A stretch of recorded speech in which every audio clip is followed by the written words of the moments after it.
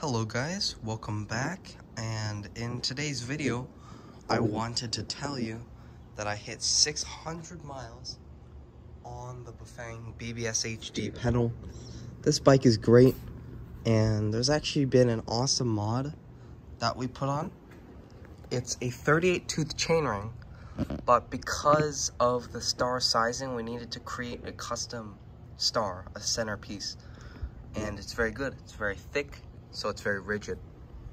It took a lot of time to fabricate, but now it's done, and this bike is ready to ride again.